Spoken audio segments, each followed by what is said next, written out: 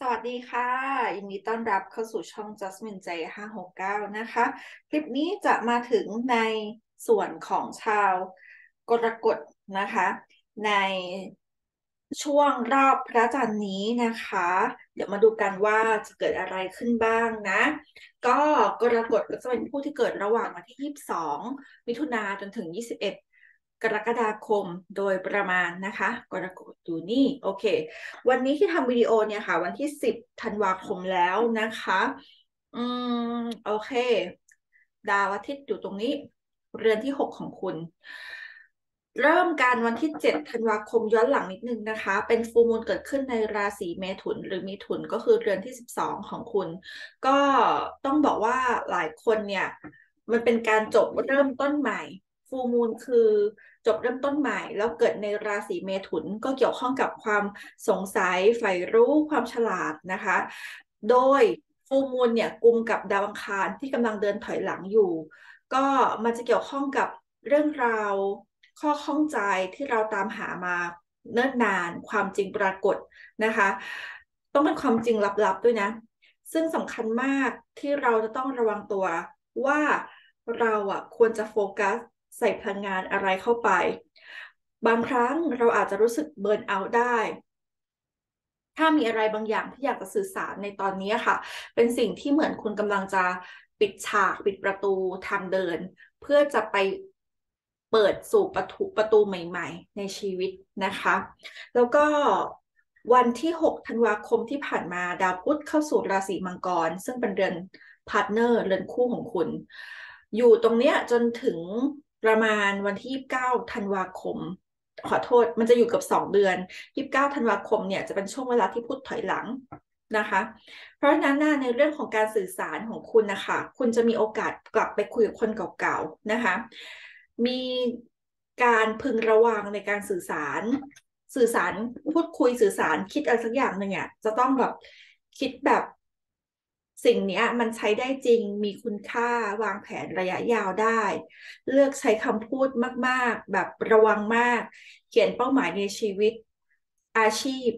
การทำอะไรให้มันเกิดเหตุเหตุผลมากขึ้นนะคะ แล้วก็สามารถทำทุกอย่างให้เกิดขึ้นเป็นเรื่องจริง ของคุณเนี่ยมันไปตกในเรื่อง partner เพราะนั้นหลาย ๆ ครั้งคุณอาจจะ ได้เดินทางได้สื่อสารกับ partner ของคุณ ซึ่งเป็นคนเก่าๆ ที่คุณเคยรู้จักก็ได้ 9 ธันวาคม ดาวพุธเข้าสู่ ดาวศุกร์เข้าสู่ราศีมังกรเช่นกัน เรือนที่ 7 คุณจะสัมผัสได้ถึงความสัมพันธ์ที่มันจะชัดเจนมากขึ้น จริงจังมากขึ้นซีเรียสมากขึ้น เป็นเหตุเป็นผลหลาย ๆ อย่างเต็มไปหมดเลย ไม่ว่าจะเป็นความรักความโรแมนติก การเงินกับ partner ความสัมพันธ์มอง partner มองหุ้นส่วน สะท้อนคุณค่าของตัวคุณเอง ความงาม ศิลปะ ความปรองดอง การทำอะไรที่มันต้องแบบ harmony อะค่ะ เป็นสามัคคีปรองดองกัน 20ธันวาคม ดาวพฤหัสเข้าสู่ราศีเมษซึ่งเป็นเรือนที่ 10 ของคุณ ก็ต้องบอกว่าคุณจะปังมาก ๆ นะ คุณจะเคารพ รักตัวเองมากขึ้น มีแรงบันดาลใจ ความกล้า พลังงานมาเต็มเลย โอกาสที่คุณจะเชื่อมกับความต้องการของตัวคุณเองเนี่ยค่ะ อยากจะทำสิ่งนั้นมาก ๆ คุณอาจได้เจอสิ่งที่มันตื่นเต้นเร้าใจนะคะ แล้วก็เป็นสิ่งที่คุณจะคิดถึงตัวเองก่อนเป็นหลักสำคัญช่วงเวลานี้คิดถึงตัวเองได้ แต่ว่าอย่าลืมมองคนอื่น เพราะมันจะเป็นภาวะที่ทำให้หลายคนอาจจะมีภาวะเห็นแก่ตัวมากขึ้นได้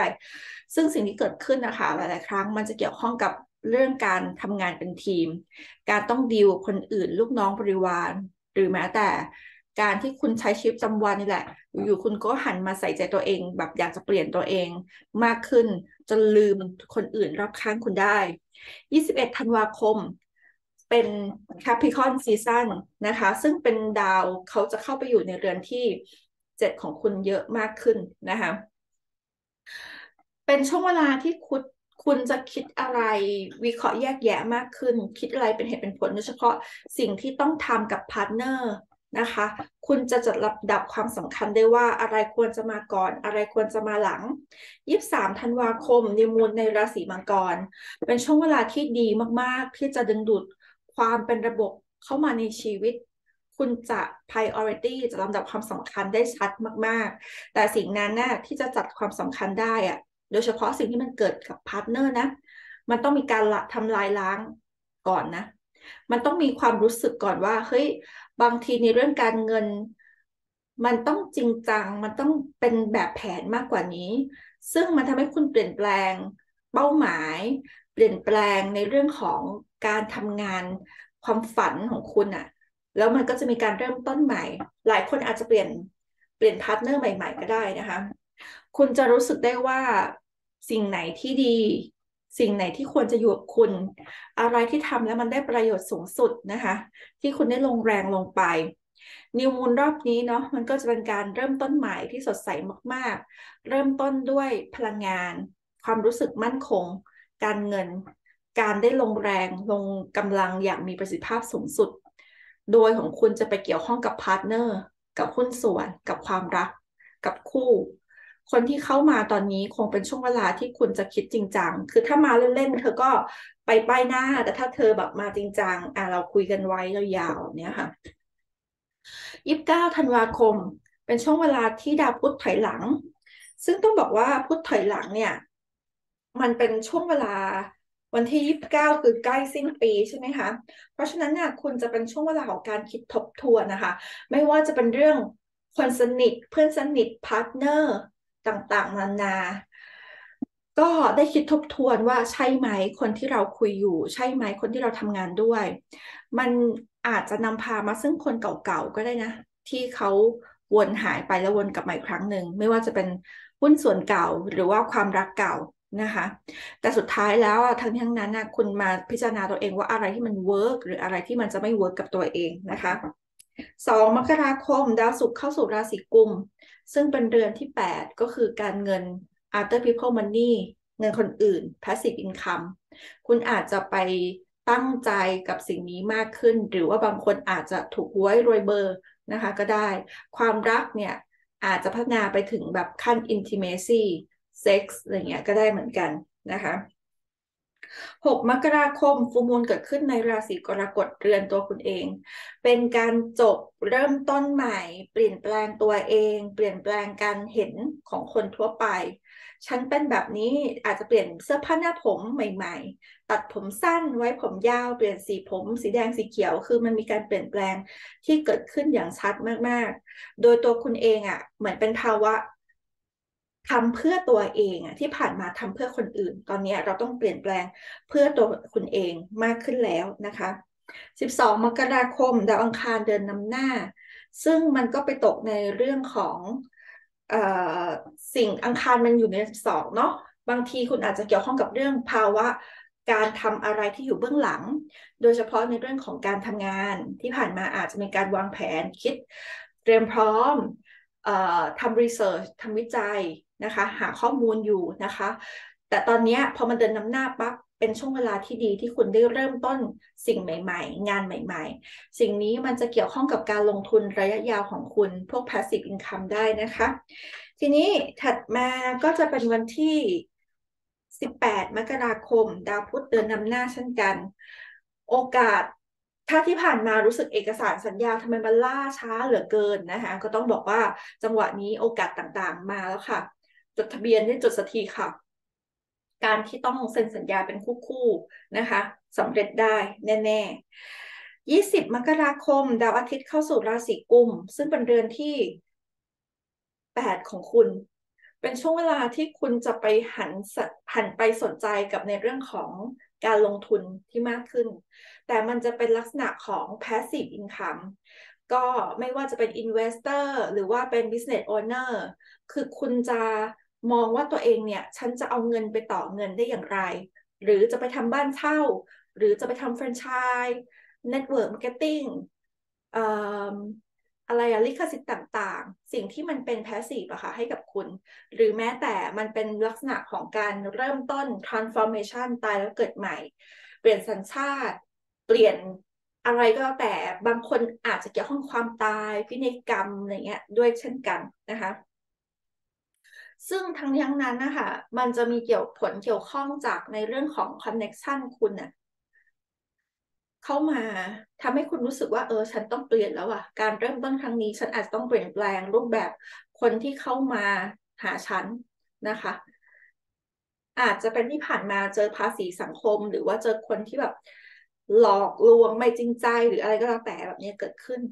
22 มกราคมยูเรนัสเดินนำหน้าแล้วที่ผ่านมาเนี่ยอาจจะมีภาวะติดขัดในเรื่องของการทำงานเป็นทีมนะ ตอนนี้จะดีขึ้นกับคุณมาก ๆ26 มกราคม ดาวศุกร์เดินนำหน้าเข้าสู่ราศีมีน ก็ความรักการเงินมีโอกาสได้จากแดนไกล จากออนไลน์ จากการเรียน จากการเดินทางไกลได้นะคะ บางคนมี business trip บางคนต้องไปต่างประเทศได้นะคะ หรือหรือจะเป็นภาวะที่ได้มาจากแบบเหมือนกลุ่มเพื่อนแนะนำมาให้ครอบครัวแนะนำมาให้ได้นะคะ ถัดมาห้ากุมภาพันธ์ฟูมูลเกิดขึ้นในราศีสิงห์จบเริ่มต้นใหม่เรื่องการเงิน จบโปรเจกต์จบโครงการ เริ่มต้นใหม่ สิ่งที่เรอคอยไว้มันได้ฟังผลเร็วๆนั้น อาจจะมีการซื้อรถใหม่ ให้คุณค่าตัวเองแบบใหม่ ๆ หรือแม้แต่การที่คุณ คิดจะลงทุนทำอะไรที่มันแปลกใหม่ออกไป สิ่งนี้คุณจะมีความมั่นใจ เพราะว่าหาข้อมูลมานานแล้วไงเตรียมพร้อมมานานแล้วจังหวะนี้เป็นจังหวะที่คุณได้เริ่มทำลงตัวอย่างเต็มที่ แต่บางทีอะสิ่งที่ทำกับสิ่งที่คุณรู้สึกอะมันอาจจะค่อนข้างตรงข้ามกันนิดนึงนะใจเนี่ยรู้สึกแบบหยิ่งพยอง อยากจะทำแบบนี้ฉันมั่นใจแต่ว่าสิ่งที่ทำลงไปอะมันต้องทำให้กับคนหมู่มากอะ ใจคืออยากจะทำใจตามใจตัวเอง แต่ว่าพอสิ่งนี้ทำได้คือค่อนข้างตรงข้ามกันเนาะโอเค เดี๋ยวมาลองดูของถ้าหยิบไพ่ประกอบสำหรับชาวกรกฎในรอบพระจันทร์นี้นะคะ ในเรื่องงานก่อน เป็นไพ่แปดถ้วยการเดินหันหลังให้กับบางสิ่งบางอย่างที่ได้ทำไป ไปตามหาความชอบที่มันอยากได้จริงๆเข้ามา ซึ่งถามว่าเจอไหมเจอ King of Wands ก็คือสำเร็จแหละ สิ่งที่ออกไปตามหาสิ่งที่อยากได้เจอจริงๆ ก็คงจะเป็นสิ่งที่คุณอยากจะทำจริง ๆ มีแพชชั่นจริง ๆ เรื่องการเงินโอ้ตรงนี้ระวังนิดนึงเนาะห้าเหรียญเกิดขึ้น ที่บอกไปภาษีสังคมมันจะมาจากในเรื่องของเพื่อนได้ เสาอยู่ในเรือนที่แปดอยู่มาแบบสองปีครึ่งแล้วอะ่ะ หลายคนอาจจะแบบได้เงินช้าชะลอตัวหรือว่ามีรายจ่ายบางอย่างที่มันเยอะแบบนี้ก็ได้นะคะ รออีกนิดนึงใจเย็นๆ เดี๋ยวโอกาสดีๆ มันจะมีเข้ามาแน่ๆ รออีกประมาณสามถึงสี่เดือนข้างหน้าเสามันจะเลยไปล้วมันน่าจะดีขึ้นกว่านี้มาก การเรียนสำเร็จแน่ๆ สิ่งศักดิ์สิทธิ์คุ้มครองอาจจะมีโอกาสที่เข้ามา แล้วตรงข้ามกันแบบโดยสิ้นเชิง จะเป็นขาวจะเป็นดำจะเป็นแบบเหมือนศิลป์หรือว่าวิทยาศาสตร์ คือมันจะมีความต่างกันโดยสิ้นเชิงให้คุณต้องเลือกนะคะ การเดินทางอ่าสำเร็จ เดินทางไปกับครอบครัวได้ ไปเที่ยวบ้านไปเยี่ยมบ้านได้ แล้วก็ความรักนะคะ ความรักมันค่อนข้างโรแมนติกเนาะแต่ว่ามันมีความไม่ชัดเจนอะ่ะเออยังไม่เคลียร์ความหลงก็ต้องระวังอาจต้องพูดกันให้เข้าใจ ตรงไปตรงมาสักนิดนึงน่าจะดี อาจได้เจอคนที่เป็นพวกพิจิก หรือว่าเป็นคนที่ทำงานในวงการแพทย์ หรือตัวคุณเองอาจจะต้อง เหมือนลบล้างอะสิ่งที่เคยเจอเคยเป็นมาก่อนอะนิสัยเดิมๆแบบเนี้ย ที่มันขัดขวางการมีคู่ของคุณอะนะเดี๋ยวลองพิจารณาดูนะคะ อาจจะได้เจอจากการทำงานก็ได้นะ ในรอบเวลานี้นะคะ โอเค ไปแล้วขอบคุณทุกคนมากเลยค่ะ สวัสดีค่ะ